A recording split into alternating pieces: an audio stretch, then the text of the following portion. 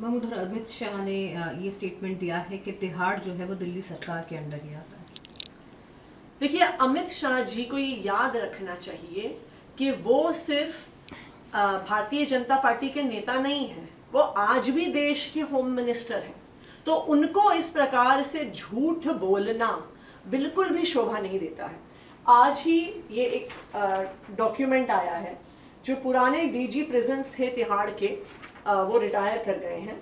और ये एक ऑर्डर आया है नए पुलिस ऑफिसर को चार्ज देते हुए, जिसमें क्लियरली लिखा है ब्लैक एंड व्हाइट में।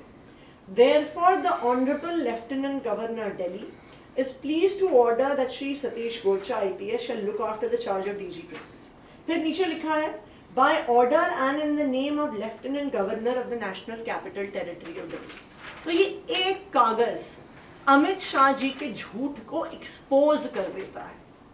ये बिल्कुल साफ़ है कि तिहाड़ जेल, उसका प्रशासन, वहाँ पे काम करने वाले अफसर, लेफ्टिनेंट गवर्नर के माध्यम से केंद्र सरकार के तहत आते हैं।